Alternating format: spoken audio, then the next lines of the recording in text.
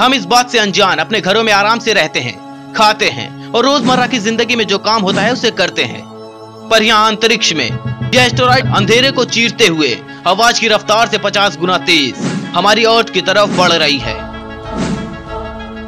यह एस्टेरॉइड हमारी अर्थ पर पहले भी हमला कर चुके हैं। हमारे साइंटिस्टों के मुताबिक, आज से साढ़े छह सौ करोड़ साल पहले, एक 10 किलोमीटर की एस्टेरॉइड ने डायनासोरों का सफाया कर दिया।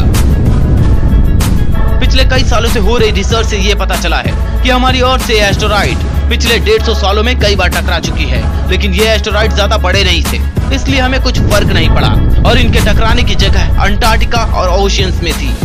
पर हमारी अर्थ की तेज़ी से बढ़ती आबादी से इस बात के चांसेस बढ़ जाते हैं कि यह एस्टेरॉइड रिहायशी इलाके पर भी फट सकती है, जो बहुत जानलेवा साबित होगा।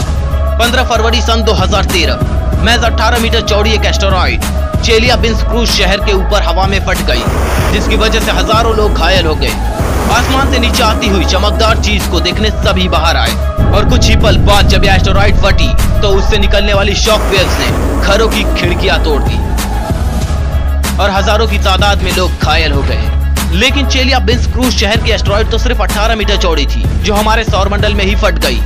पर अर्थ के बाहर स्पेस में फुटबॉल के मैदान जितनी बड़ी बड़ी एस्टेरॉइड है और अगर यह एस्टेरॉइड हमारी अर्थ से टकराई तो समझो सब कुछ खत्म। हमारे साइंटिस्ट और एस्ट्रोनॉमर्स इस चीज़ पर रिसर्च कर रहे हैं कि हमारी अर्थ की तरफ़ एक फुटबॉल के मैदान जितनी बड़ी एस्टेरॉइड आती है तो उसे रास्ते से कैसे हटाना है? कुछ लोगों ने न्यूक्लियर मिसाइल का आइडिया दिया। अगर हमें कोई एस्टेरॉइड हमारी अर्थ की तरफ़ बढ़ता नज़र आता है तो हम उसे एक न्यूक्लियर मिसाइल के ज़रिए उड़ा देंगे। आप में से कई लोग शायद यही सोच रहे होंगे कि ये आइडिया बेस्ट आइडिया है। पर अगर एक फुटबॉल के मैदान जितनी बड़ी एस्टेरॉइड को कोई न्यूक्लियर मिसाइल हिट करती है तो उसके हज़ारों टुकड़े हो जाएँगे। और वो टुकड़े अर्थ के एटमोस्फेयर में घुसकर पत्थरों की बारिश कर देंगे, जिसका नतीजा बहुत बुरा होगा। ये आइडिया पेंडिंग में है। अगर इन एस्टेरॉइड से बचाव का रास्ता ढूंढना है तो सबसे पहले हमारे साइंटिस्टों को यह पता लगाना होगा कि इन चट्टानों का आकार क्या है, और यह अर्थ का कितना नुकसान कर सकती हैं। आकार बहुत मायने रखता है, पर अगली अहम चीज़ है, वो एंगल जिससे ये चट्टाने हमारी अर्थ के एटमोसफेयर में दाखिल होंगी। जब कोई एस्टेरॉइड हमारे वायुमंडल में दाखिल होती है तो वो जलने लगती है, और छोटी एस्टेरॉइड ज़्यादा दूर तक नहीं जा पाती। वो हवा में ही फट जाती है। पर अगर एक छोटी एस्टेरॉइड ही खड़े एंगल से हमारे वायुमंडल में दाखिल होती है तो वो ज़्यादा नीचे जाकर फटेगी, और ज़्यादा नुकसान करेगी। किसी भी एस्टेरॉइड की स्पीड 16 किलोमीटर पर सेकेंड हो सकती है, जो बहुत ज़्यादा है। किसी भी एस्ट्रॉइड का रास्ता बदलना लगभग आसान है। मुश्किल काम तो उसे ढूंढना है।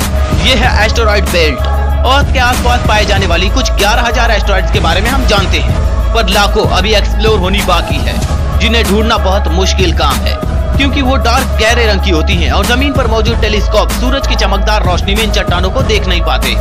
इसके लिए हमें अर्थ के बाहर कोई बड़ा टेलीस्कोप चाहिए। वो भी इंफ्रारेड टेलीस्कोप हमारा एस्ट्रोनॉमर्स का इरादा है कि एक बड़े इंफ्रारेड टेलीस्कोप को सन के ऑर्बिट में भेजा जाए और उसे अर्थ की तरफ़ घुमाकर एस्ट्रॉइड का पता लगाया जाए। स्पेस में कोई भी चट्टान सूरज की गर्म रोशनी को अपने अंदर सोखती है, जिससे इन चट्टानों में इंफ्रारेड चमक पैदा होती है और ये टेलीस्कोप हाई इंफ्रारेड डिटेक्टर से लैस होंगे, जो उस चमक को देखकर इन चट्टानों का पता लगाएँगे। लेकिन प्रॉब्लम अभी भी खत्म नहीं हुई।